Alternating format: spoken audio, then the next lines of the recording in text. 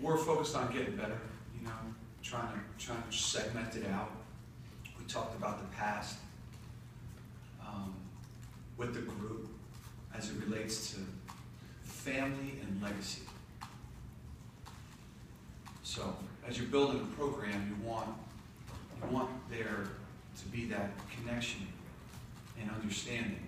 Tradition is a huge part of, of a, of a great program. Being sure that um, we're cognizant of that and that we respect the fact that we represent so many others that preceded us.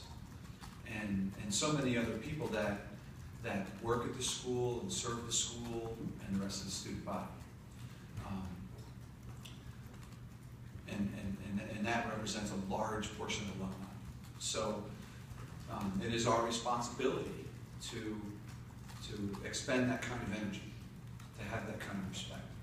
So initially when we talked um, way back in camp, to try to make sure that they weren't having too much to chew on, looking at a schedule of 12 games with three bye weeks.